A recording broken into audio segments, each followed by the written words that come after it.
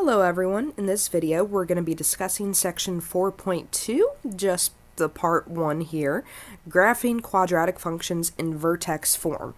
So a little bit of review, in the last section we had standard form, which looked like ax squared plus bx plus c. And it was important that we saw the x squared.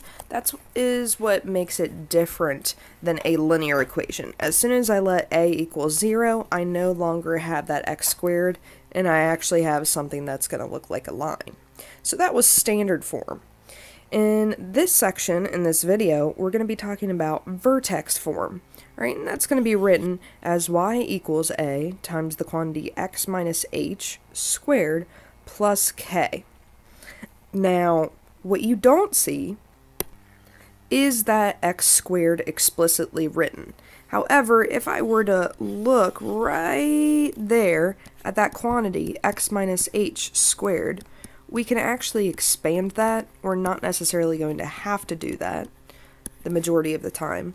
And if you were to go through the FOILing process, you actually end up with an x squared. Alright, so that x squared is in there, it's just written differently.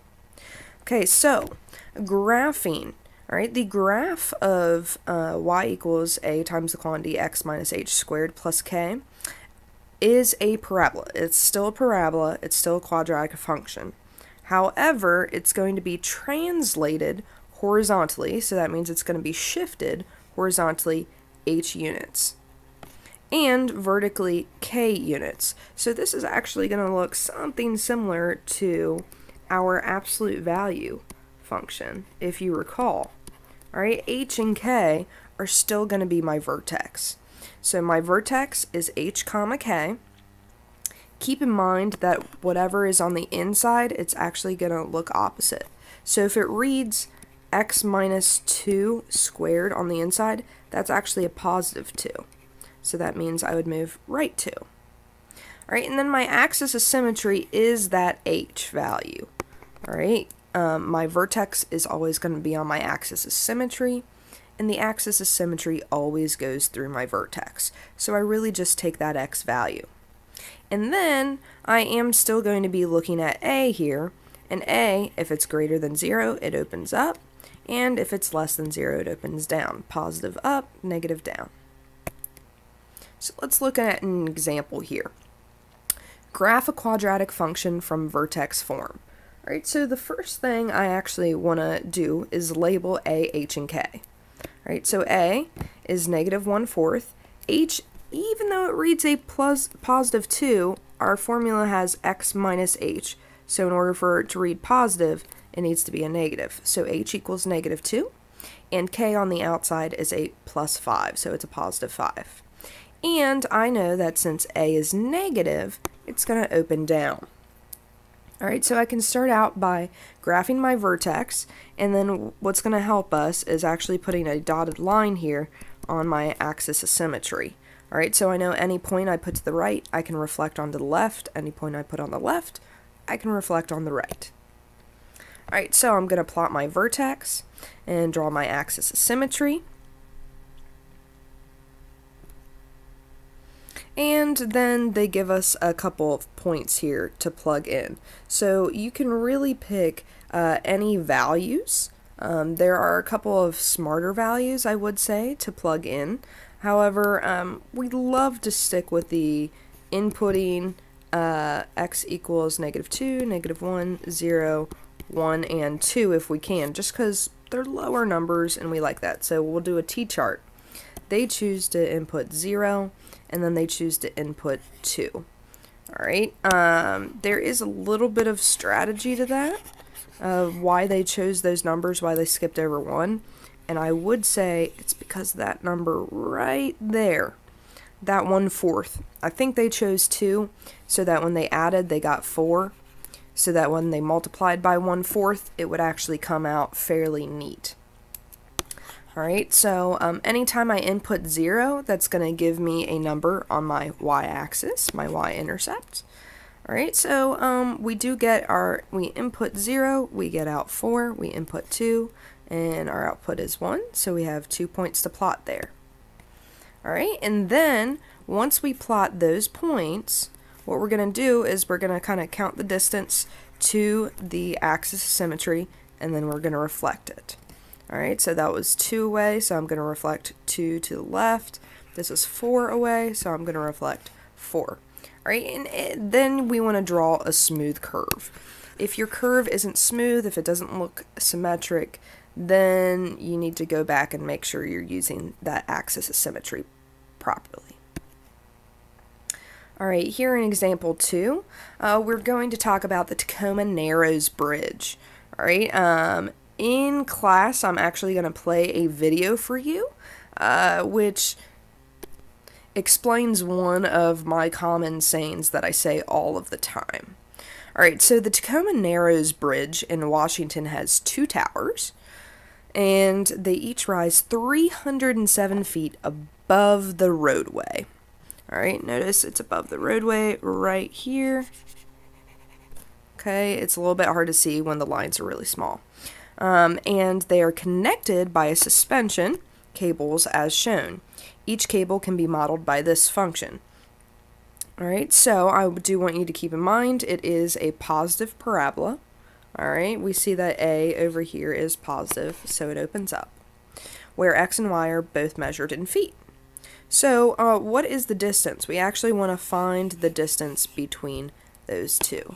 Alright, so somehow we're going to be using the 307 in order to find that. So, let's break it down. Alright, the vertex. What's going to help me is using my equation to find the vertex. So right here, I've got 1400, comma 27. Alright, so there's my vertex. And then at the cable's lowest point, it is 1,400 feet. 1,400 feet right there. Alright, so we're going to call that, if we're using right here, when I'm bolding in purple, if we're using that as our origin, this is 1,400 feet. So I need to actually refer back to what the question's asking. It's asking for the entire distance.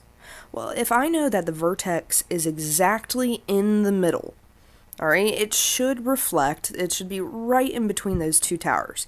If it takes me 1400 feet from the uh, left tower to the middle, alright, it's going to also be 1400 feet from the middle of my bridge to the right tower. So this is also going to be 1400. Alright, and using segment addition, which is, I'm pretty sure, one of the very first sections in geometry, 1400 plus 1400, or 1400 times 2 is 2800 feet. So the total distance between the two towers is 2800 feet. Alright, so here is the guided practice. Please graph the following functions. When we go about graphing, it's going to be very important for us to label it because not all of our lines are going to be clear where the origin is or anything like that. So make sure to label the vertex, so wherever you put the point, label it, blah, comma, blah, all right, whatever your x is, comma, your y, and then your axis of symmetry, we want to go ahead and make sure we label, um, I like writing AOS, x equals whatever that h value is. All right, so go ahead and graph it. Pause the video to see the solution.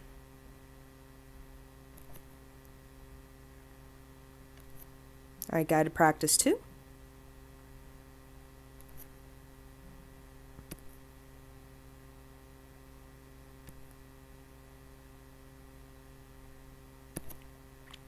And here in Guided Practice 4, what if?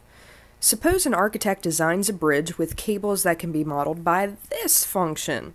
Right, so slightly different than that Tacoma Narrows example. Right, x and y are still measured in feet. Compare this function, this function's graph, to the graph of the function in example 2. So what exactly is going to be different? Right, and we have a couple things to look at. Where's the vertex? Uh, what is the axis of symmetry? Is it a little bit more narrow? Is it wider? Um, is it shifted up or shifted to the left? All right, you've got lots of things that you can point out here. So go ahead and get this graph.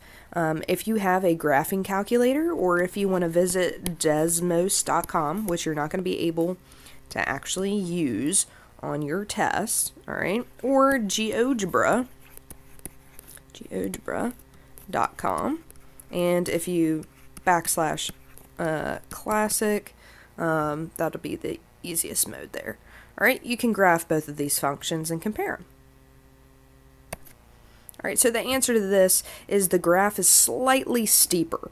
Alright, that means it's going to be a little bit more narrow. Um, they both have the same vertex and the same axis of symmetry and they both open up. The difference right here is that a value. So in the numerator they both have ones, however I believe in the original example was 7,000 something. Alright, so um, the difference is I'm dividing by a smaller number, which means this is actually going to be bigger right? Since I'm dividing by a smaller number, the entire number itself is going to be larger. Um, so that means it's actually going to be a little bit more of a vertical stretch. So it is going to be steeper and more narrow. All right, if you guys have any questions, feel free to send me an email. Um, if not, good luck and God bless.